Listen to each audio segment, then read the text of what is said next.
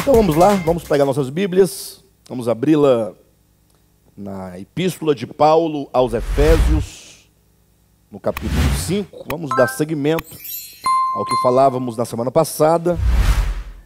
Quero começar a leitura hoje a partir do versículo 25. Então, capítulo 5, versículo 25 em diante, diz assim: Maridos, amai vossa mulher, como também Cristo amou a igreja e a si mesmo se entregou por ela, para que a santificasse, tendo-a purificado por meio da lavagem de água pela palavra, para a apresentar a si mesmo igreja gloriosa, sem mácula, nem ruga, nem coisa semelhante, porém santa e sem defeito. Assim também os maridos devem amar a sua mulher como ao próprio corpo. Quem ama a esposa a si mesmo se ama porque ninguém jamais odiou a própria carne. Antes a alimenta e dela cuida, como também Cristo faz com a igreja, porque somos membros do seu corpo. Eis porque deixará o homem a seu pai e a sua mãe, e se unirá à sua mulher, e se tornarão os dois uma só carne. Grande é este mistério, mas eu me refiro a Cristo e à igreja. Não obstante, vós, cada um de per si, também ame a própria esposa, como a si mesmo, e a esposa respeite ao marido. Muito bem, queridos, nós falando aqui essa porção, nós temos visto como que o apóstolo Paulo, ele usa aqui, nesse capítulo 5, a figura do casamento. Usa a figura do marido, a figura da esposa, para se referir ao que ele chama aqui no versículo 31, ou melhor, 32, de o grande mistério. Ou seja, Cristo, ele consiste no mistério de Deus, enquanto que a igreja consiste no mistério de Cristo. Ao passo que Cristo e a igreja juntos constituem então o grande mistério. Então, quando Paulo ele faz a abordagem da economia de Deus, que ele apresenta o supremo propósito de Deus, que passa tanto pelo propósito que ele estabeleceu desde a eternidade, capítulo 1 de Efésios, ele passa então ali pela cruz, no capítulo 2, demonstrando como que a cruz é o meio que Deus usa, né, para resolver o problema do pecado, no sentido de que não há solução para o pecado senão por meio da cruz.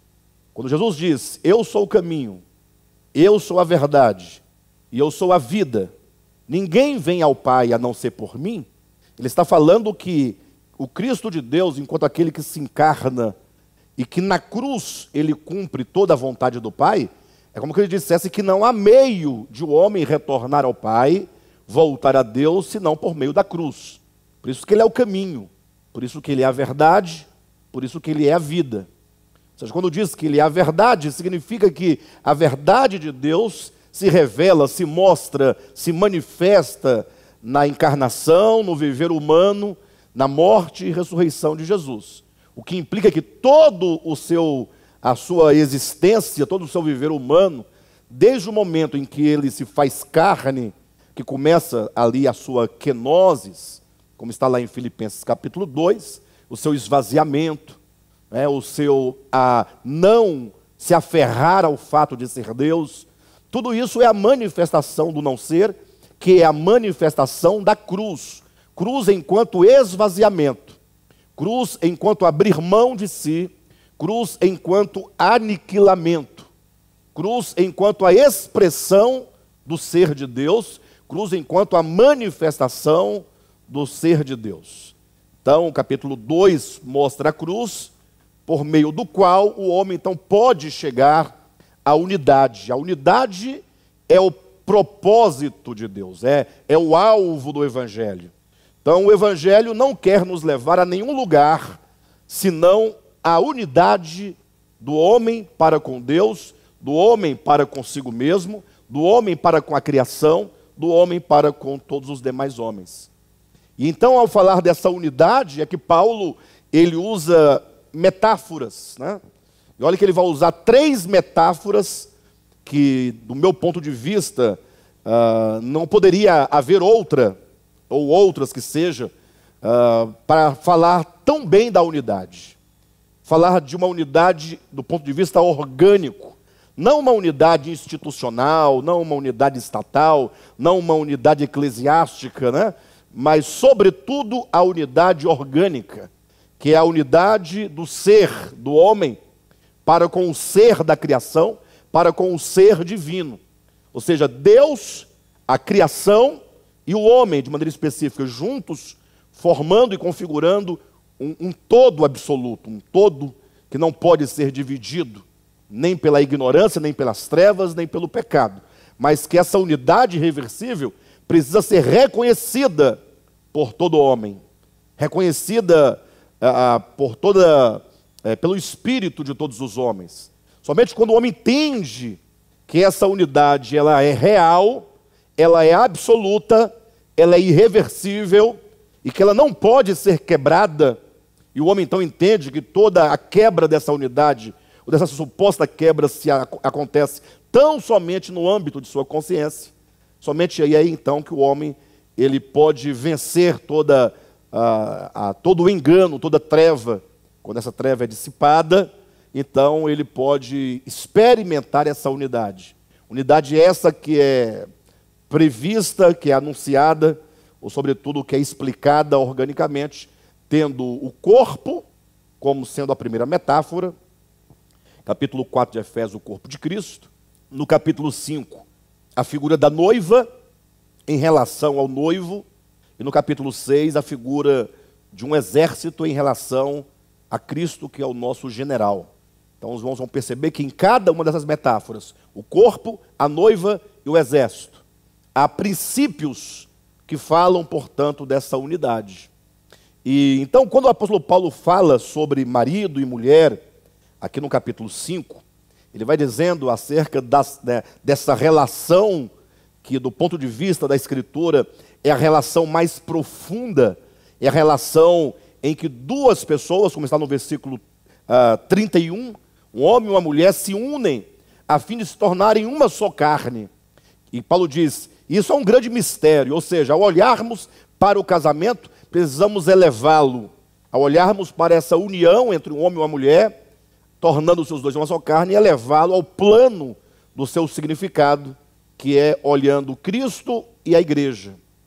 Por isso que quando nós falamos sobre é, Cristo e a igreja, uh, tanto faz se nós colocarmos Cristo enquanto cabeça e a igreja enquanto seu corpo, que é a primeira figura, ou Cristo enquanto noivo e a igreja enquanto a noiva, que é a segunda metáfora, mas é a, tanto o corpo quanto a noiva estão intimamente relacionados para falar de uma unidade intrínseca.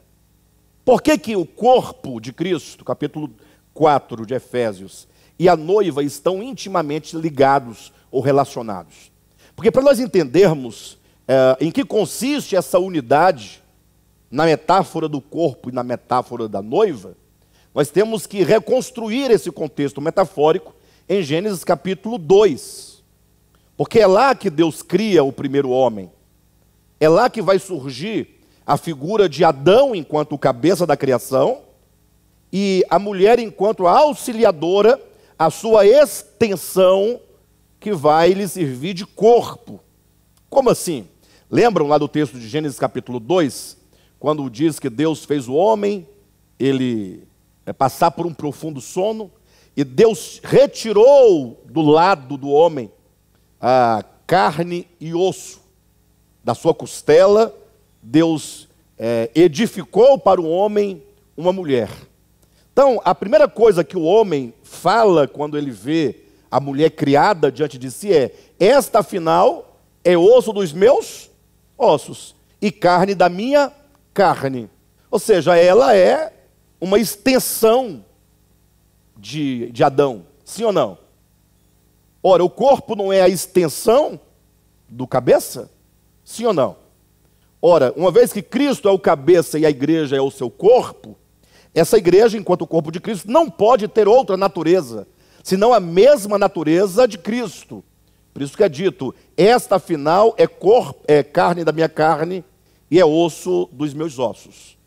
E agora, em contrapartida, essa que lhe é a sua extensão, é também a sua noiva.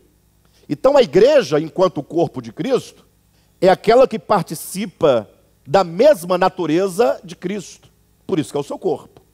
Em consequência, por participar da mesma natureza, ela pode então ser a auxiliadora, ser a noiva de Cristo. Aí os irmãos vão lembrar do quando nós falamos aqui na semana passada, bem no finalzinho do estudo, quando ah, ali é mostrado em Gênesis, né, a forma pedagógica como Moisés apresentou para nós, dizendo que Deus teria dito para o homem, não era bom que o homem ficasse só, Deus faria a ele uma auxiliadora. E qual é a primeira, a primeira atitude de Deus? Tão logo ele diz: Far-lhe-ei uma auxiliadora que lhe seja idônea. Deus então traz todos os animais para que o homem nomeasse cada um deles. Então, os irmãos precisam atentar para o modo como o texto está escrito. Não, é? não pense você que ali houve um lapso no pensamento de Moisés, ou um lapso na revelação, e de repente, falando de uma coisa, começou a falar de outra. Porque parece que mudou o assunto. Imagine só: Deus olha para o homem e diz: Não é bom que o homem esteja só. Far-lhe-ei uma auxiliadora que lhe seja idônea.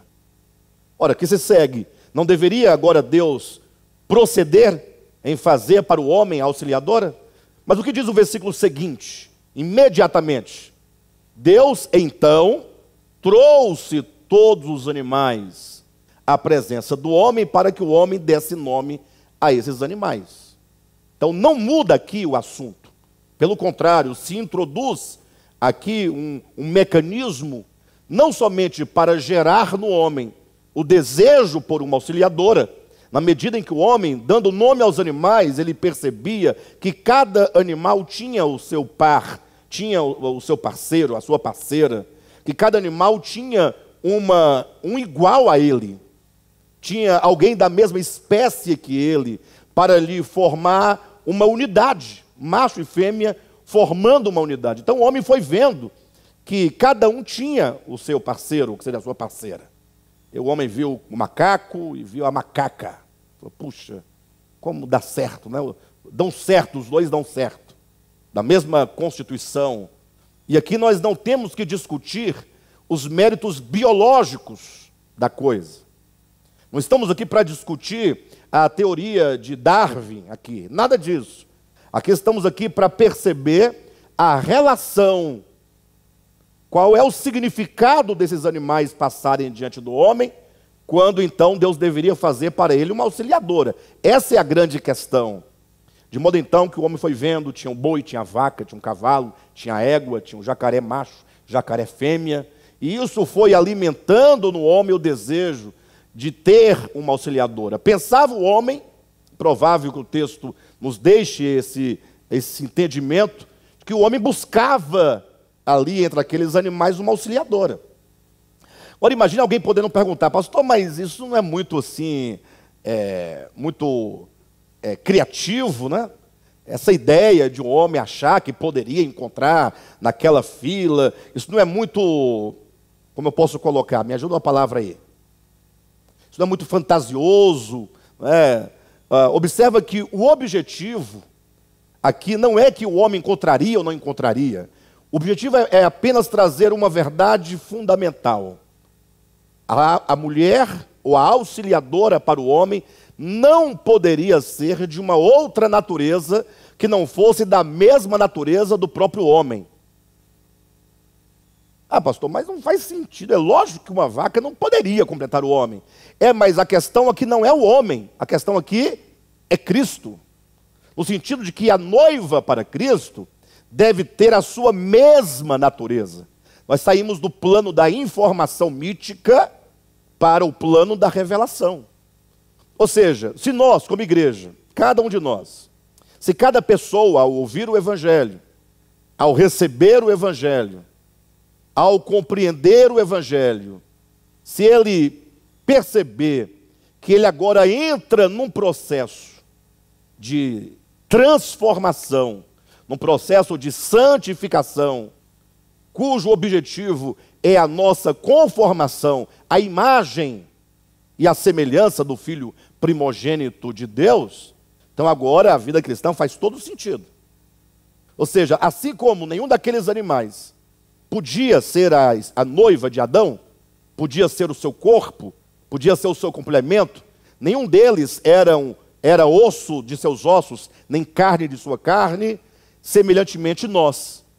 Nós, para chegarmos a esse ápice né, de sermos a noiva de Cristo, ou que seja o corpo de Cristo, precisamos inevitavelmente do processo uh, orgânico de uma mudança profunda na consciência e no coração, que é essa conformação à imagem do Filho de Deus. Então, ser corpo de Cristo e ser noiva de Cristo é o resultado final de um longo processo de conformação. Não é que está lá em Romanos capítulo 8, quando diz no versículo 29, e aos que de antemão conheceu, também os predestinou. E predestinou para quê? Para que esses fossem conformados, fossem conformes à imagem do Filho primogênito de Deus. Então, esse é o ponto que eu quero chamar a atenção dos irmãos. E que, se porventura não foi este o nosso propósito, então não vale a pena e não tem nenhum sentido e nenhum significado insistir na ideia de cristão. Não vale a pena. Porque o único propósito da vida cristã, que é o alvo do cristão, é o que Paulo diz em Filipenses capítulo 3, a fim de o conhecer, de eu ser conformado a Cristo em sua morte, a semelhança de sua ressurreição, para que eu possa então alcançar o prêmio da soberana vocação em Cristo Jesus. Ou seja, a vocação para a qual nós fomos chamados é participarmos com Cristo da sua mesma e única natureza divina. Sermos nós o seu corpo, ou seja, a sua extensão, sermos nós a sua noiva, isto é, aqueles que o auxiliam na obra que ele está realizando e que ele ainda irá realizar. E para tanto, nós precisamos de participar. Primeiramente, antes de nós sermos aqueles que contribuem, que colaboram, precisamos ser os primeiros a receber a, a, a obra de Cristo em nós, sermos trabalhados por essa obra, para então podermos, com eficiência, com eficácia, cooperar nesta mesma obra. Então, este é o ponto que os irmãos precisam atentar. Existem coisas que se refere à unidade mais do que o corpo em relação à cabeça? Pensa nisso. E existe coisa que fale de unidade mais do que uma noiva, mas não qualquer noiva. Porque do ponto de vista histórico, a noiva é um grande problema e o noivo também é um grande problema. Casamento, do ponto de vista histórico, é um grande problema porque ele está cheio de, de, de questões humanas, de interesses humanos, está totalmente imaculado com uma concepção equivocada do homem sobre o que é o matrimônio, sobre o que é o casamento. Mas do ponto de vista da revelação, ponto de vista que o homem, deixando pai e mãe, se une à sua mulher, tornando-se os dois uma só carne, uma unidade, unidade essa que na figura se concebe por meio do coito, da relação conjugal, né, do ato sexual, dessa mistura, desse amálgama. E a grande a, a concretização desse amálgama é exatamente o fruto do amor, que é o filho. O que, é o filho? Senão a, o amálgama de fato e de verdade de duas pessoas que no filho, no fruto, tornaram-se agora uma só e não tem como desvencilhar. Os dois ali estão agora, a unidade está materializada naquele fruto. Então, é, o Senhor nos chama a essa unidade tão orgânica que chega a ser uma unidade irredutível. Por isso que Paulo vai dizer que aquele que se une ao Senhor, salvo engano, é 1 Coríntios capítulo 6, versículo 17. Aquele que se une ao Senhor é um espírito com ele. Já imaginaram? Deus é Espírito. O Espírito Santo é o Espírito de Deus. Nós temos o Espírito humano, que é o sopro divino para dentro de nós.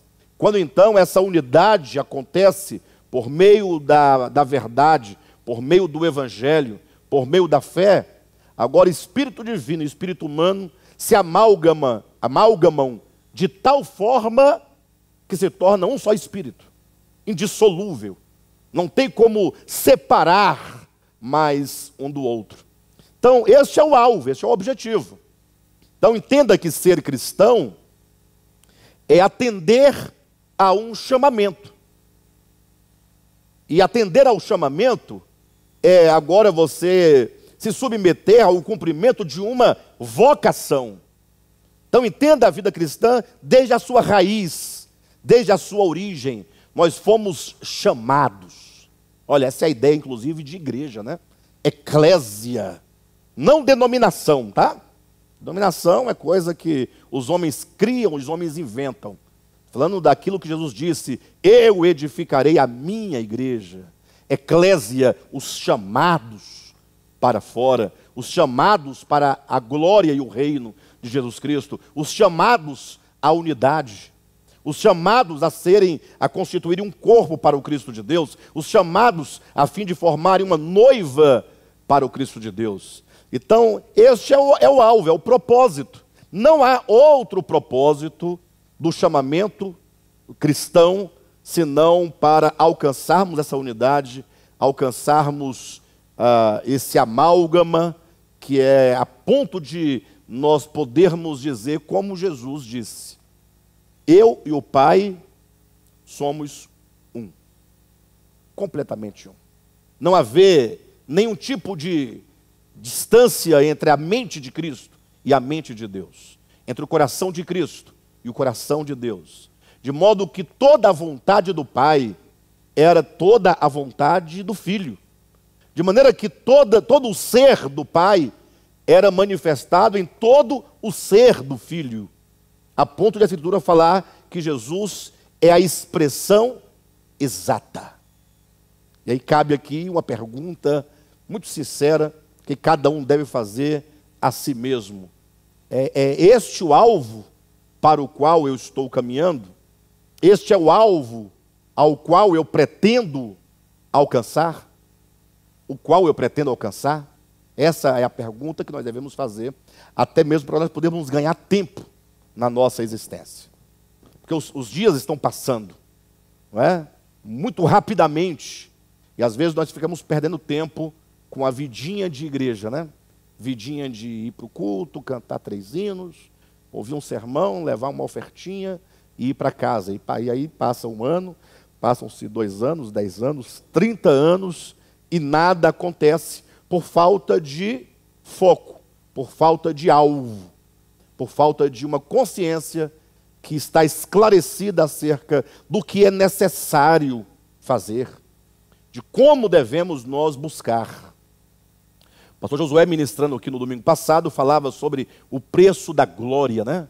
Glória enquanto o ato de o homem manifestar na sua existência, manifestar pelo seu ser, no seu coração, na sua consciência, na sua mente, nas suas faculdades, de maneira prática, manifestar ao mundo aquilo que Deus é. Isso é a glória, isso é entrar na glória. E este é o alvo, né? Este é o objetivo. Agora, Talvez vocês respondam assim, não, mas esse é o meu objetivo, de fato eu quero, e eu busco isso mesmo. Para aqueles que acham que não é bem assim, que acham que não, esse caminho é muito complicado, é muito é difícil, no sentido de eu não estou afim, não estou muito interessado nessas coisas. Quando eu me converti, ou quando eu fui para a igreja, eu tinha outros interesses. Nem me falaram que o objetivo era esse. Então, para esses que assim pensam, o meu conselho é que você é, faça alguma outra coisa na sua vida. Gaste melhor o seu tempo. É? Você pode fazer pipoca, comer pipoca, é, ir para o cinema, fazer churrasco, fazer seus empreendimentos, é, fazer tudo o que você pode fazer nessa vida temporal, sabendo que logo, logo tudo isso aqui vai acabar e você então terá pelo menos usado o seu tempo para viver aqui. É? Mas para aqueles que falam, não, eu quero, eu, eu entendo o Evangelho, eu sei para o que eu fui chamado, e eu estou disposto a seguir esse caminho. Só quero entender como. Então, nós vamos tratar disso hoje. Como? É, qual é o instrumento divino que nos levará a essa experiência? Lembrando que quando Jesus diz que o caminho é estreito e a porta que conduz à vida é estreita, vamos lembrar que tanto o caminho quanto a porta são meios. O caminho não é o, o nosso alvo, o caminho é o meio que me leva a. E a porta não é o alvo, a porta também é o meio que me introduz em.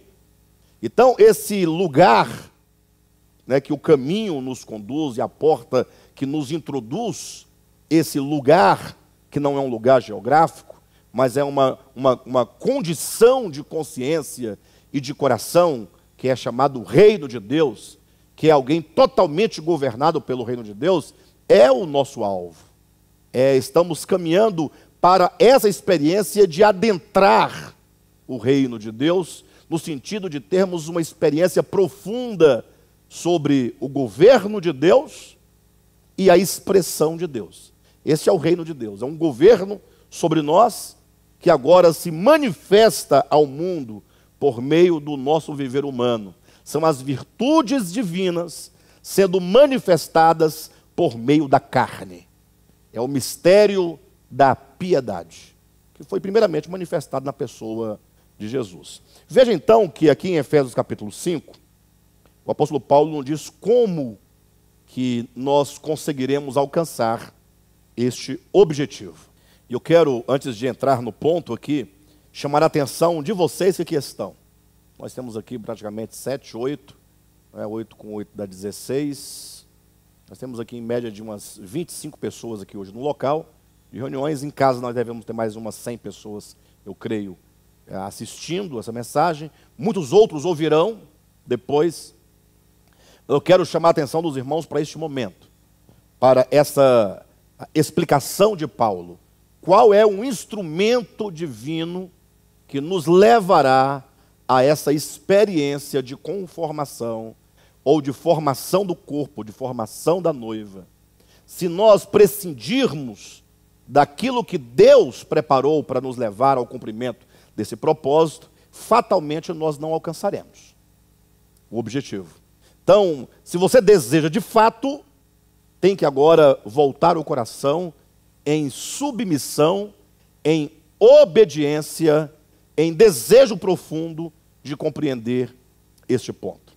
Capítulo 5 de Efésios, o apóstolo diz assim, versículo 26: Para que a santificasse, tendo-a purificado por meio da lavagem de água pela palavra, para a apresentar a si mesmo igreja gloriosa, sem mácula, nem ruga, nem coisa semelhante, porém santa e sem defeito. Então, observem, versículo 26. Para que a santificasse, fala, portanto, primeiro ponto, a santificação. Tendo-a purificado, essa santificação ela acontece mediante a purificação por meio da lavagem de água. Temos a santificação, é? a santificação é o meio pelo qual nós atingiremos o objetivo. A santificação acontece por meio da lavagem, sermos nós lavados sermos nós purificados com a lavagem de água. Essa água não é uma água literal, mas é pela palavra, é o jato da palavra que nos há de purificar, para que nós então sejamos, como diz o versículo 27, uma igreja sem mácula, sem ruga, sem nada, é uma igreja impoluta, totalmente purificada do pecado, ou de qualquer coisa que nos faz tão diferentes de Cristo. Então, precisamos entender, primeiramente, que nós estamos lidando aqui de, é, é, com dois tipos de igreja. Uma igreja que nós podemos chamar de igreja militante, não é? Vamos colocar três tipos de igrejas, para os irmãos entenderem. Uma igreja que nós podemos chamar de igreja nominal, uma outra igreja que podemos chamar de igreja militante, e ainda uma terceira igreja que podemos chamar de igreja triunfante. Ah, qual a diferença? A igreja nominal é a igreja histórica, é essa com a qual nós lidamos a partir dos nossos sentidos. São as organizações, né? são as denominações, são as seitas, são as muitas manifestações e expressões humanas do ponto de vista religioso. Então, assim, ah, não tenho muito o que dizer ah, de maneira profunda e de maneira concreta acerca da igreja nominal. Em qualquer lugar que se reúnem pessoas, ali chamando-se de igreja, é uma igreja nominal. Não é? Interessante como que as pessoas, infelizmente, esse é um ponto terrível, é? como que a pessoa ela ingressa numa igreja nominal, ela se integra numa igreja nominal. Quando eu falo igreja nominal, inclui também o DEVAP, para que ninguém ache que estamos falando. Né? Nominal é uma organização física, histórica, seja ela qual for. Não estamos ainda tocando no aspecto da essência, estamos tocando apenas no aspecto social e histórico. Igreja nominal é qualquer igreja que pode ser nomeada, denominada. Pode ser apontada e identificada por um nome. Então a pessoa, ela ingressa numa igreja nominal e ali ela integra a, naquela igreja, se integra naquela igreja, e agora ela passa a assimilar o espírito daquela igreja nominal, e ela passa a entregar a sua vida àquela igreja nominal, e a viver em conformidade com o espírito daquela igreja nominal sem se importar, sem se perguntar, sem se questionar sobre qual é a essência desse grupo, qual é o propósito desse grupo. Seja, as pessoas, antigamente tinha, hoje deve ter ainda, as pessoas saem para evangelizar e falam: olha, procure uma igreja mais próxima de sua casa. Como assim? É pela comodidade? ou é por acreditar que, seja qual for a igreja nominal, desde que seja próxima à sua casa, é a igreja ideal? Então, temos que tomar muito cuidado, porque igreja é coisa muito séria. Porque toda igreja, enquanto expressão social, é apenas uma igreja. Mas existe um espírito. Não entendo espírito nem como sendo espírito de Deus, nem como espírito maligno. Tem um espírito enquanto tem uma mente uma razão, uma consciência que nós chamamos de ministério. É aquilo que aquela igreja está empenhada em construir na mente e no coração das pessoas. Então, há pessoas que integram uma igreja nominal e ali passa a vida inteira construindo o que dentro de si? O desejo da ambição, da ganância, de ficar rico, comprar fazenda, passar em concurso público, é, aposentar, se casar, se livrar do caroço, do furúnculo, né, da Covid, do que quer que seja. Ou seja, ela gasta 30 anos, 40 anos, 50 anos da sua existência para resolver problema dessa existência. Quando chega no plano eterno, não tem nada construído. Lembra quando Jesus fala lá em Mateus capítulo 6? Ele fala assim: olha, não acumuleis tesouros nessa terra, mas acumular os tesouros do céu? Cuidado, viu? O texto não está dizendo para você, está falando de dinheiro, não. Então tem que falar, não acumuleis tesouros. Ou seja, bens, riquezas. Porque se você é, vive toda a sua existência trabalhando em prol de qualquer que seja o bem material, espiritual, psíquico, não importa é, de qual natureza, intelectual, mas se a natureza desses bens, pelo qual você trabalha tanto, é terreno, a traça vai comer. Ou seja, você não pode levar essas coisas para a eternidade. Pode até ser uma coisa boa. Poxa, não tem nada errado em você ser um trabalhador e uma pessoa ambiciosa, no sentido de falar, poxa, eu só tenho uma vida aqui na terra, então eu tenho que empenhar todos os meus esforços, toda a minha capacidade, toda a minha habilidade, todos os meus talentos para viver uma vida humana na terra boa. Então, você pode construir uma vida boa, trabalhar, intensamente, dia e noite, né, comprar bens, boas roupas, boas comidas, frequentar os melhores lugares. Não há pecado nisso, entenda. Não há pecado nisso. O grande problema é que a natureza de tudo aquilo que você constrói aqui, se é de natureza terrena, se o seu coração está posto apenas nessa vida, isso aqui vai se dissolver com a morte. Ele diz: acumulai tesouros no céu.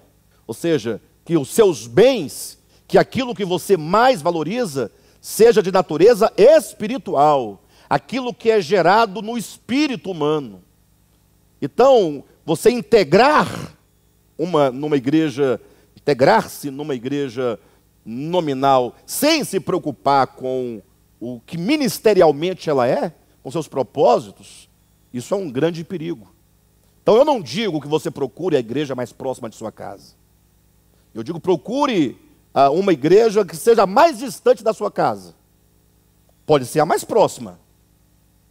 Pode ser numa meia distância. O problema não é a distância, o problema é você precisa de estar ministerialmente num lugar onde exista ali, onde esteja acontecendo o processo de santificação. Falei, ah, pastor, mas o processo de santificação acontece em qualquer lugar, na minha casa, onde não depende de igreja. Calma. Daqui a pouco eu vou tocar na questão da palavra, da questão do ministério. Você vai entender que você sozinho já é um grande sinal de espírito de independência. É um grande sinal. Então, se você acha que você não precisa de ninguém, que você já sabe a verdade, você sozinho vai chegar lá, você já está num caminho totalmente errado, porque o caminho da unidade é o caminho do corpo, e o caminho do corpo é o caminho coletivo. É? Bem, de todo modo, tem as igrejas nominais, tem a igreja militante.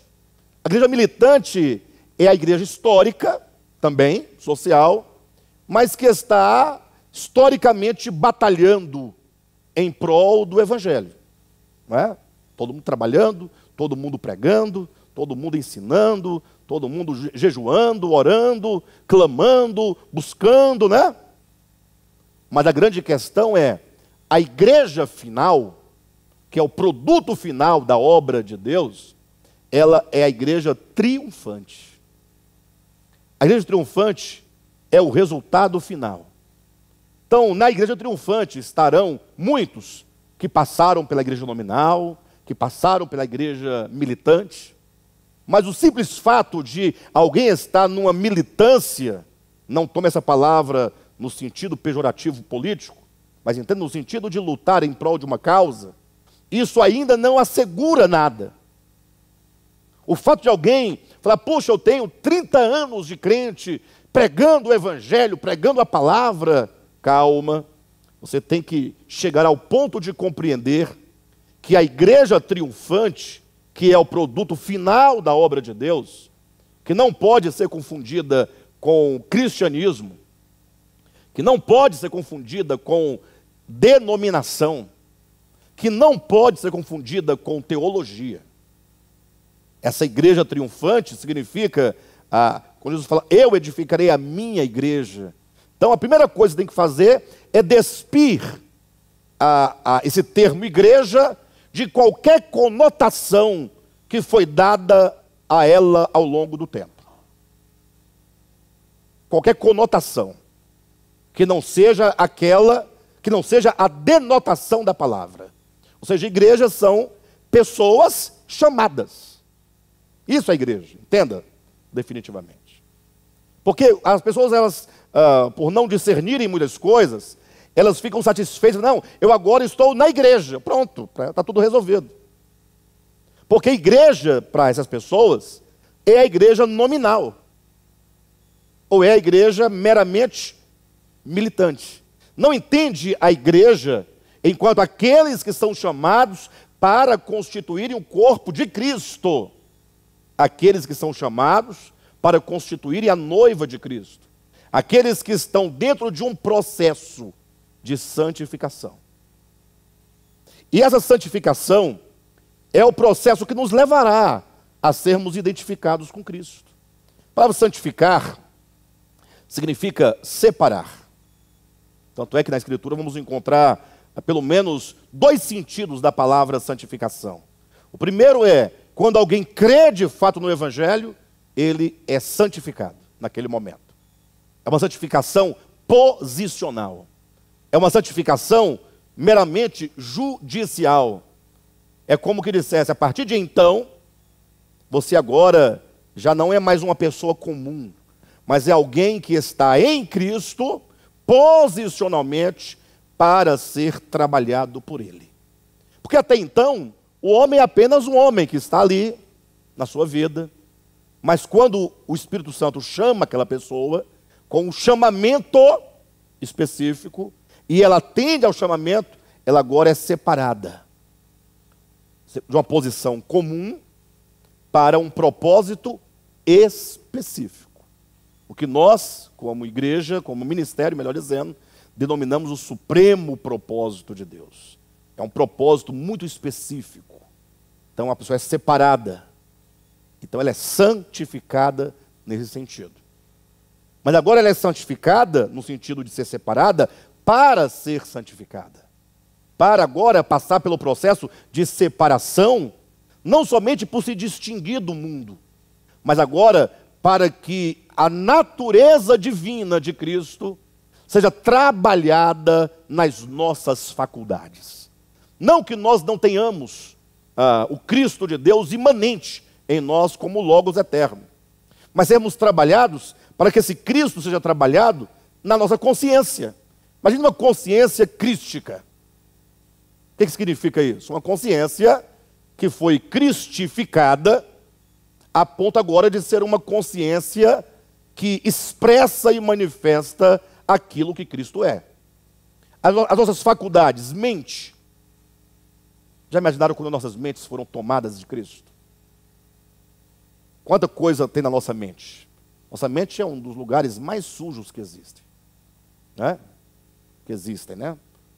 A nossa mente está cheia de tanto coisas impuras, como coisas que não sendo impuras, mas são profanas. Nossa mente ainda é muito caída, é muito materialista, ainda é muito pecaminosa, ainda é muito perversa.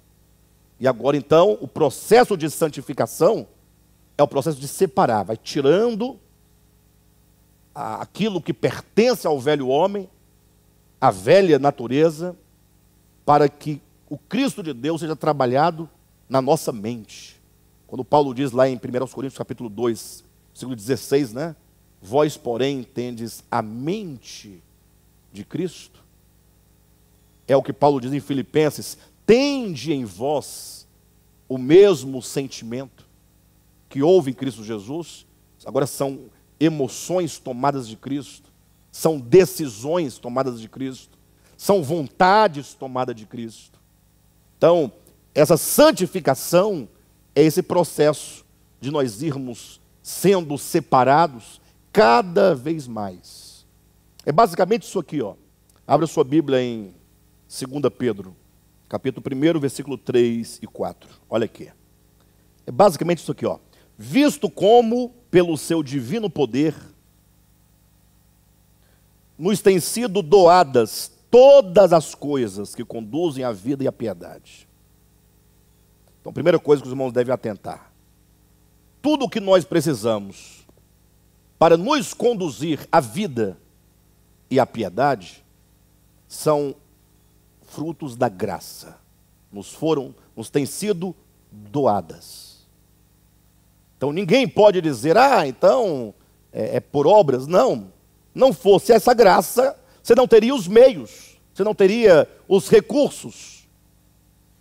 Então, nos têm sido doadas pelo conhecimento completo daquele que nos chamou para a sua própria glória e virtude. Então, aquilo que é chamado de vida e piedade é o mesmo que glória e virtude. Então, daí os irmãos já sabem que nosso chamamento não é para ir morar no céu. É? Então, se esse é o seu desejo, então já vi que você deve desistir logo, logo. Porque é aqui na terra onde você precisa manifestar a vida, a glória e as virtudes de Cristo. Hã? Versículo 4: Pelas quais nos têm sido doadas as suas preciosas e grandes promessas. Ou seja, aquilo que nós seremos, que ainda se constitui de promessa, também é dom da graça. Então, tanto a, a, a meta, tanto o alvo, né, tanto a promessa, quanto os meios que nos conduzem ao seu cumprimento, tudo é dom da graça. Tudo já nos foi dado. Pelos quais ou pelas quais nos têm sido doadas as suas preciosas e muito grandes promessas, para que por elas vos torneis, por elas, como assim? Pelas promessas. Como por meio das promessas? uma vez que por meio da promessa, por meio da esperança, por meio da perseverança, nós então vamos nesse continuar, nesse insistir, nesse nos mantermos firmes nessas promessas, vamos nos tornando, por elas vos torneis coparticipantes da natureza divina, livrando-vos da corrupção das paixões que há no mundo. E aqui nós temos um conceito de santificação, embora não explícito, mas de maneira maravilhosa, porque é dito que nós vamos nos tornando participantes da natureza divina na medida que nós vamos sendo livrados das paixões que há no mundo. Então veja que é um entrar e sair. É? Na mesma proporção que nós vamos sendo libertos das paixões que há no mundo, a natureza de Cristo vai ocupando o lugar dessas paixões. Isso é santificação. Santificação não é você é simplesmente ficar de jejum, é você deixar de jogar futebol. Pelo contrário, se santificar é você estar totalmente, ah, totalmente separado na sua natureza interior, como acontece com o sal e você então agora ter uma ação externa, como acontece com a luz sobre o mundo. Então a santificação é essa separação. Então, na mesma medida que nós vamos sendo libertos das paixões que há no mundo, vai agora, ou vão, ou vai ocupando o lugar das paixões, agora a natureza divina. Alguém pode falar assim: ora, mas se Cristo já está em nós, isso é um fato, como é que nós nos tornamos participantes da natureza divina? Entenda que se tornar participante está para uma questão de consciência e de coração. Podemos dizer, Cristo, ele está, podemos dizer, imanente em todos nós, mas ele não habita todos nós. O habitar está para a comunhão está para o relacionamento. Somente quando o homem se desperta para o conhecimento de que o Cristo de Deus habita nele, e agora que ele conhece, ele agora entra para o reconhecimento. E não somente pelo reconhecimento, mas agora ele, por meio da vontade, ele desenvolve comunhão com esse Cristo interior relacionamento com esse Cristo interior, permitindo que esse Cristo interior habite nele. Quando o homem, então, ele se faz casa de Deus, é que então se pode dizer que Deus habita nele. E nessa circunstância, é então que o Cristo de Deus vai ocupando em nós, não como, entenda, cuidado que fala assim, habitação de Deus, ocupando em nós, como se nós fôssemos um, um, um vaso vácuo, que Deus entrasse lá para dentro. Não dá essa ideia em vez em quando? Ah, nós somos o templo de Deus, então você é como se fosse um, um vaso. Pastor, a Bíblia diz: nós somos vaso, calma. Vamos entender o significado das coisas. Como se você fosse um vaso oco, e nesse oco entrasse Deus e ficasse no, no oco, no vazio do vaso, sobre, é, justaposto ao vaso. O vaso enquanto um elemento material, mas vazio, oco. E Deus agora, eu vou habitar aqui dentro, entrasse dentro de um vaso, ficasse lá dentro. Estou habitando esse vaso. Mas temos que transcender essas ideias absurdas da infância. Habitar significa que ele vai preencher os espaços. Esses espaços não são ocos, os espaços são os espaços das nossas faculdades. Ele vai ocupar nossa mente, tomar nossa mente, absorver nossa mente. Ele vai saturar a nossa mente de si mesmo. Então ele vai preencher a nossa mente, nossas vontades, nossas emoções, o nosso coração, nossos desejos, tudo que somos, totalmente tomados, amalgamados e saturados dele. Não necessariamente como uma essência que se coloca dentro, mas imagine a sua mente contendo a mente de Cristo. Ora, uma mente que contém a mente de Cristo, quando a mente humana se torna apenas o suporte para a mente de Cristo, então essa pessoa, ela pensa não segundo esse mundo, mas é Cristo que pensa por meio de sua mente. Os meus pensamentos se tornam os pensamentos de Cristo e os de Cristo se tornam os meus pensamentos. Nesse sentido, não se pode mais dizer, como em Isaías, os meus pensamentos são os meus pensamentos, não são os vossos pensamentos. Nesse nível de, de, de, de trabalhar de Deus em nós, de santificação, Cristo vai, a mente de Cristo ocupa a nossa mente, a mente humana se torna o suporte da mente divina. É? Como essa lâmpada, por exemplo, se torna um suporte para a luz. Então, a luz é possível de resplandecer nesse ambiente físico, pelo suporte da lâmpada. Imagine quando a vontade de Deus, enquanto essência, uh, ocupar a nossa vontade humana, a vontade humana como suporte da vontade divina. Imagine quando as suas vontades humanas agora forem vontades divinas. Tudo que você deseja é divino, porque é a vontade divina na sua própria vontade humana. Já pensaram que coisa maravilhosa não será? Então nós temos que atentar para essa questão. A santificação consiste nesse processo. E ela acontece na medida. Não tem como a sua mente, a sua vontade, suas emoções serem tomadas de Cristo e ainda haver paixões desse mundo. As paixões desse mundo, e aqui é bom que fale isso um bilhão de vezes, não tem nada a ver com o que disseram para você que você não podia ir para a festinha de aniversário da sua sobrinha, porque a sua sobrinha e a sua irmã não é crente. E vai tocar a música da Xuxa. Não é isso.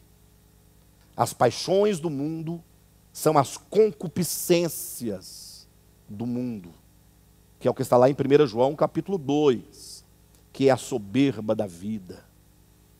É? As concupiscências dos olhos, são coisas que estão intrinsecamente relacionadas ao seu coração, ao seu ego. O Senhor vai então fazendo essa santificação, essa mudança.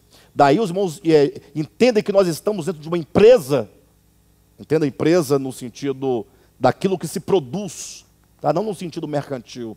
Nós estamos dentro de uma grande empresa espiritual em que essa mudança está acontecendo. Imagine só um empreendedor humano.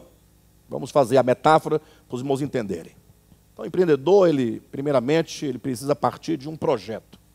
Ele não pode sair comprando qualquer coisa para sair vendendo por aí. Então, ele estuda qual é o produto que ele vai trabalhar, por que, que aquele produto que ele vai trabalhar é importante que seja lançado no mercado, qual é o diferencial daquele produto, uma vez que há tantos produtos semelhantes àquele no mercado.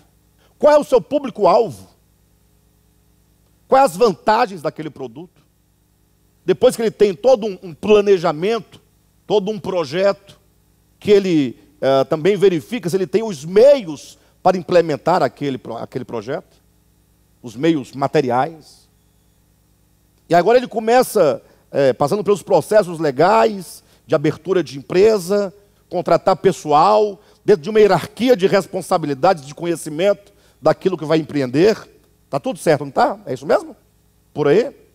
Até que aquele produto, então, comece a ser produzido para que possa chegar lá na ponta da linha e alcance o objetivo que foi proposto. Então, observa que há toda uma indústria aqui, sim ou não? Não é uma indústria que começa fazendo o produto, não começa lá no início, no planejamento. Então imagine agora a sua alma. A sua alma. Dentro de uma grande empresa divina, de uma grande indústria divina, a sua alma vai ser, passar por todo um processo de mudança, de santificação. Que não acontece sem batalha, sem conflito, sem luta, sem cruz, sem dor, sem decisão. Imagine só um empreendedor preguiçoso, indolente, negligente.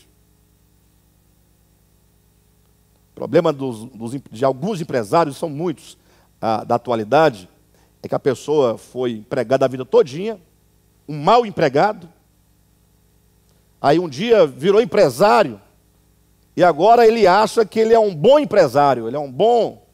Ele foi um mau funcionário a vida toda. Aí agora ele pensa, né, eu vou chegar na empresa 10 horas. Quem tem que chegar às 7 são os, os empregados, né? Esse está fadado a fechar com dois meses. Porque ele se sente que agora ele é o camarada, né? Aí quando entra um dinheirinho que ele vê aquele tantão, ele se esquece do investimento, do capital de giro. Aí acha que ficou rico e vai viajar. Vai gastar, comprar roupa nova, sapato bom, carro novo para a mulher, carro novo para o filho. Dá seis meses, todo mundo da casa com um carro novo. Já comprou um apartamento financiado em 30 anos pela Caixa Econômica Federal.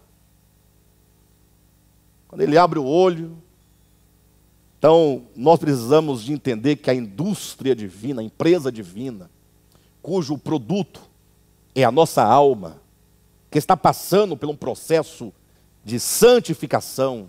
Então, olha, não há coisa mais é, é importante do que a nossa alma, o nosso coração. É uma, é uma agência divina de transformação de almas, de pessoas, de consciências, para que deixamos de ser velho homem para sermos novo homem, para sermos feito corpo de Cristo, sermos feito noiva de Cristo. Então, essa grande indústria divina, essa grande fazenda divina, ela não acontece senão com muito esforço, muito trabalho, numa batalha intensa, numa consciência clara acerca daquilo que nós precisamos, daquilo que nós queremos, daquilo que Deus vai e quer realizar aquilo que ele quer e ele vai realizar. Então é algo muito sério. Então, entenda de uma vez por todas, ser um cristão e estar dentro dessa obra divina, o que podemos chamar biblicamente esse, esse grande ministério divino. Falamos aqui de indústria, de empresa, de fazenda, mas a palavra bíblica é o grande ministério de Deus. É, para ser mais preciso, a grande economia de Deus né? Essa oikonomia, a lei de uma casa, é o projeto divino que ele está realizando.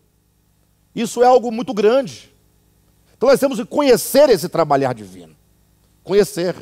E o primeiro ponto que eu quero abordar nesse sentido é que tudo acontece em nós, nesse, nesse trabalhar divino, na nossa mente o que mais profundamente podemos chamar de consciência. A consciência é a sua essência, é aquilo que você é do ponto de vista humano, porque nossa essência, ou suprema essência, suma essência, do ponto de vista espiritual, é o próprio Cristo, é o Logos. Mas do ponto de vista da existência, como você se põe no mundo, cada um de nós somos uma consciência. Por isso que cada um de nós somos únicos. Cada um é único. Né? Então, o cádmio. Então, o cádmio é único. Por que as, as muitas divergências entre nós, em todos os sentidos? Ora, porque cada um tem uma consciência. Essa é individual, é pessoal, é intransferível. É toda a sua formação que ao longo da sua existência, desde a, a, a, a sua concepção, foi sendo colocado ou tramado ponto a ponto ali dentro de você, formando sua personalidade, formando seus gostos, formando seus desejos, formando suas inclinações, seus vícios e virtudes. É você. Agora imagine que agora você se põe nessa, nessa economia divina para que agora essa sua consciência seja mudada.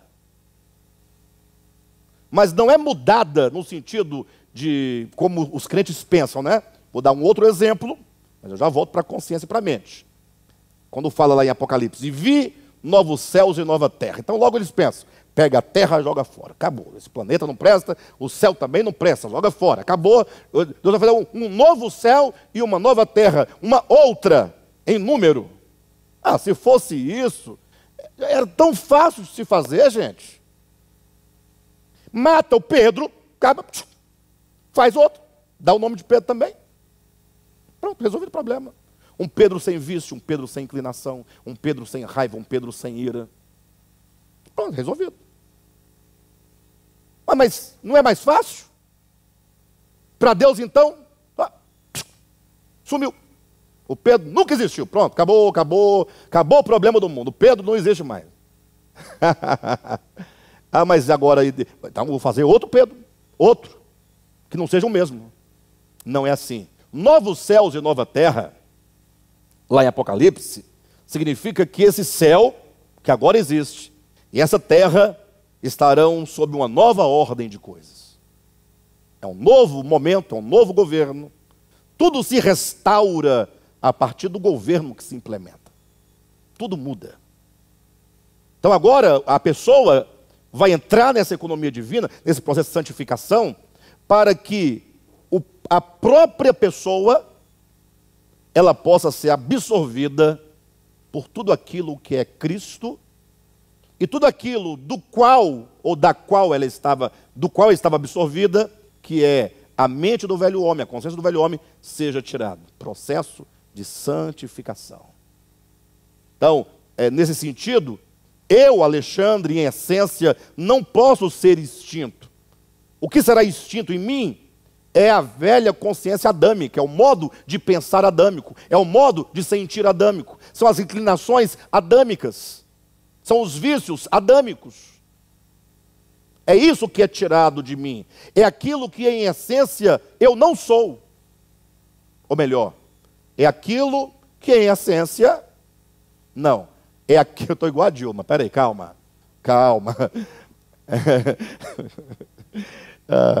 é tudo aquilo que não é a minha essência.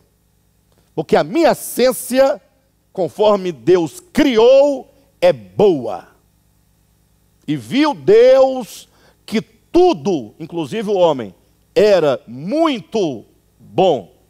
O que entra de ruim daí em diante não é essência, é o engano da serpente. Receio que, assim como a serpente enganou a Eva com a sua astúcia, assim sejam as vossas mentes corrompidas e vos afaste da simplicidade devidas a Cristo. 2 Coríntios capítulo 11, versículo 3. Então, acontece aí na mente essa mudança. Quando Paulo diz: "Não vos conformeis a este século, mas transformai-vos pela renovação da vossa mente". E a mente agora é a parte é, periférica da nossa consciência. É aquilo que você toca constantemente. A consciência é a parte mais profunda do nosso ser. Aquilo que sou. Só que aquilo que eu sou hoje, eu sou muita coisa, vocês não acham? Tanta, tanto desejo que eu tenho que eu não sei buscar o início dele. Vocês entendem o que eu estou dizendo? Eu, eu tenho dificuldade com as palavras, mas eu vou conseguir falar. Imagine tantas inclinações que eu tenho, que eu não sei de onde vieram, como começaram, eu sei que elas estão aqui. Isso é minha consciência. Aquilo que eu não alcanço, a origem, as causas, é a minha consciência. Eu sou, está aqui estabelecido numa formação que começou há muito tempo atrás e foi sendo construída na, e, é, é, imperceptivelmente. Já a minha mente é aquilo que eu toco de mim imediatamente. Então, quando eu mudo de pensamento, eu não posso mudar de pensamento, não. É aquilo que está na superfície, aquilo que eu posso agora, então, falar assim, puxa, eu estou pensando assim, mas eu vou, vou mudar de ideia, eu vou pensar de modo diferente. É aquilo que de mim está mais superficial, que eu posso tocar, que eu posso manipular. Quando Paulo fala, não vos conformeis a esse século, mas transformai-vos pela renovação da vossa mente, está dizendo, você tem acesso a essa área da sua vida, da sua existência, do seu ser, que você pode então decidir não seguir por este caminho, mas seguir por aquele outro caminho. É quando você vai percebendo qual é o espírito desse século. Esse século tem um espírito. Esse espírito se percebe no modo como as pessoas se põem no mundo. Olha para o campo político seja para que direção você for, centro, esquerda, direita, é uma coisa só. É maldade. Maldade. Não importa se você é de esquerda ou de direita, esse é um problema seu. É maldade. A política não está para o reino de Deus. Tem ninguém lutando pelo reino. Ah, mas é porque o fulano lá é crente, foi batizado. Ah, a Bíblia até o diabo, o demônio também crê estremece. Constantino é o maior exemplo da história de alguém que fez um tanto de coisas externas para tentar, embora eu não duvide da sinceridade de ninguém, mas isso não me compra. Vocês estão entendendo o que eu estou dizendo? Então, a mente do mundo, seja aquela que, que luta pelo aborto, não tem uma que luta pelo aborto? Não tem. É esquerda ou é direita? Hã? Fala para mim. Esquerda. Aí, o, aí, olha a mente do mundo como é que é. Aí a mente da direita fala: não pode matar a criança. Está certo ou está errado? Está certo. Mas pode armar para matar o outro. Não é uma coisa só, pessoal? Uma pessoa me falou assim, pastor, mas você tem que pensar direitinho que a vida aqui na terra não vai por aí. É, de fato, não vai por aí. Só que se você segue a Jesus Cristo, ele disse: aquele que com ferro fere, com ferro será ferido. Ele disse: você crer nele? Ele disse: se alguém lhe ferir na face direita, volta à face esquerda. Ele disse ou não disse? Você crê nisso? Não, se você não acredita, é problema seu. Você não é cristão. Você não é cristão. Você não é cristão. Você pode ser um religioso. O cristão verdadeiro discípulo é aquele que fala: Puxa, Senhor, eu queria tanto ter uma doze na minha casa. Eu quero Jesus, mas eu preciso ser ganho pelo teu evangelho. Aí é o cristão que fala: Puxa, eu tenho que vencer isso. Eu tenho que olhar para o meu inimigo, meu maior inimigo, que quer o meu mal, eu devo, eu devo desejar o bem dele, orar por ele e abençoá-lo, e não planejar arrancar o dedo do pé dele com uma doze. Passou só atiro no dedão. Não é para matar, é só para arrancar a cabeça do dedo. É. Mas Jesus falou o que para você? Se alguém arrancar a cabeça do seu dedão, deu o outro dedão para ele arrancar o outro. Não foi o que Jesus disse ou não foi? Não, foi ou não foi, poxa? Ou Jesus é, é, é está antiquado para o nosso tempo? Temos que repensar isso. Não vos conformeis a esse século. Esse século tem uma mente diabólica, maligna. Você tem o exemplo aqui do, da, da arma e do, do aborto, só para os irmãos verem como que não existe lado certo. Não tem lado. Para o reino de Deus, não. O único lado certo é o lado de Deus. Que não tem lado. É o ser dele, é o que ele é. O reino de Deus é o que importa ao crente. Qualquer coisa que fugir das palavras de Jesus, que são espírito e são vida, não tem. Eu, eu sou o caminho, pronto. Você quer ir? O caminho. Pronto, é Jesus, pronto. Tudo que ele falar, você faz. Tudo que ele fizer, você faz. Do modo como ele olhar, você olha. Só seguir. Mais nada. Não altere, não diminua. Só seguir o Cristo de Deus e você estará no caminho. Amém? Então, quando eu falei de política, dizer, a política não é por aí, mas o espírito deste mundo está na política, está na educação, está na economia, está no trabalho, está em todos os setores da existência humana.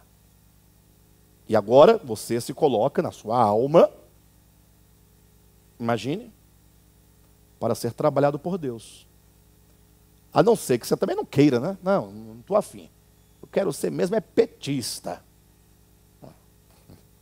Eu quero ser mesmo é bolsonarista. Amém. Ninguém pode alterar a sua decisão. Preferia que você fosse um cristão. Não que você né, deva agora ser uma pessoa alienada. Não.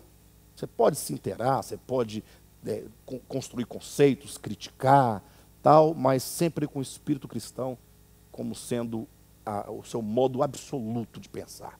Então coloca agora a sua alma nessa grande empresa divina, essa grande economia divina para ser trabalhado, santificado. E como é o meio que acontece? Observa que eu dizia que se tudo que nós somos é consciência, é a parte mais profunda que foi forjada ao longo do tempo, é aquilo que sou.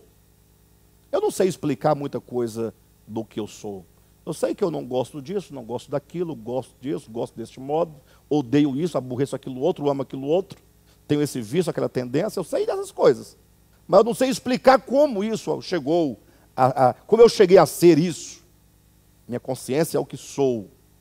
Então, pensa na sua consciência. Há muito a ser mudado para que você possa dizer que você tem o mesmo sentimento que houve em Cristo Jesus. Você pode dizer, eu tenho a mente de Cristo, a mesma consciência de Cristo. Tem muito.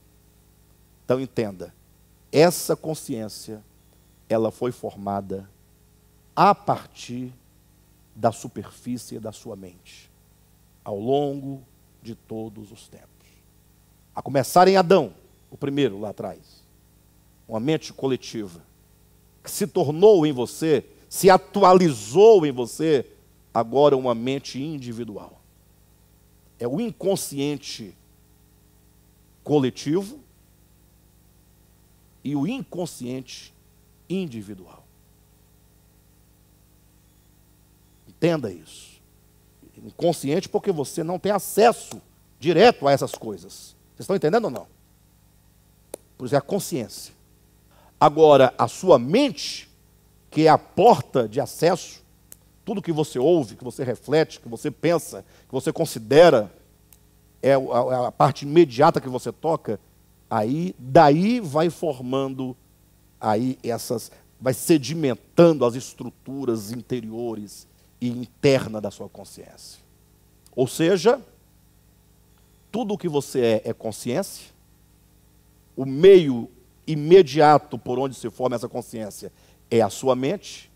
E o instrumento que alimenta a sua mente para formar a sua consciência são as palavras, é a linguagem, é aquilo que começou, do ponto de vista humano, lá em Gênesis capítulo 3. Disse a serpente à mulher. Entenda isso. Eu não tenho como desenvolver isso hoje. O tempo meu já acabou. Mas eu quero que vocês peguem isso aqui, ó. Não desprezem a revelação de Deus por meio das Escrituras. Como que tudo começa? Olha para Gênesis capítulo 3. O problema é que o pessoal lê Gênesis capítulo 3 e fica pensando que qual era o fruto. Tem um judeu aí, não, um brasileiro, deve ser um pernambucano, paraibano, cearense, alguma coisa assim, mas ele quer ser judeu, né? Aí estuda tal e vai falar tal. Aí, nada contra os paraibanos, tá, irmãos? Nem nordestino. Afinal, eu também sou, minha raiz toda é nordestina. Então não há preconceito, nada disso. Porque a mente do ser humano é terrível, né? A pastora já está falando com os nordestinos aí, ó. Tá vendo aí, ó? Deve ser bem bolsonarista. Cuidado. Tá bom? Eu quero dizer assim, porque o indivíduo não é judeu. Pronto. Para dizer que não é judeu, você tem que falar que ele é do Piauí, para dar o, a, a, a, a, distância, né? É, para poder gerar o contraste.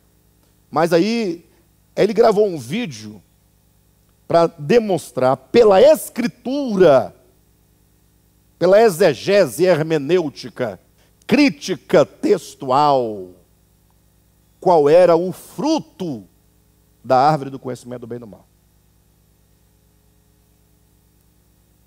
Então você imagina. Eu falei, eu tenho que assistir, porque deve ser muito profundo. Puxa, se ele descobrir o fruto. Enfim, mas aí a pessoa fica lendo aquelas coisas e não percebe. O que, que Gênesis 3 está dizendo para nós? O que, que é essencial que eu entenda e somente isso vai mudar alguma coisa em mim? Entender que todo o processo de desintegração do homem em relação a Deus acontece com, abre aspas, e disse a serpente à mulher. Três pontos, fecham-se as aspas. E disse, aqui começa toda uma maneira de pensar que vai gerar as camadas profundas da sua consciência, que é você. Entenda, definitivamente. Não é pecado assistir novela, nem filme, nem futebol, nem MMA. Nada disso é pecado. Agora, fique atento para qual é a mensagem que cada um desses elementos está silenciosamente gerando na sua consciência. Esse é o problema. O problema não é o filme que se assiste, não é? Não é o show que você assiste, não é o futebol que você assiste, não é novela, não é nada disso. Porque às vezes você não assiste televisão, porque chamou isso de pecado, mas você vai para uma igreja evangélica cujo pensamento é o mesmo do Big Brother. É o mesmo. Então você tem que estar atento ao que está sendo dito. E disse a serpente à mulher. Aqui começa um ministério da palavra. Maligno. Ou seja, é por meio da voz, é por meio da linguagem, é por meio das ideias que se forjam consciências. Entenda definitivamente isso. Por isso que é bom que você comece logo a pensar sobre a necessidade de pensar. Porque ninguém quer pensar. A gente vive num tempo em que ninguém quer pensar.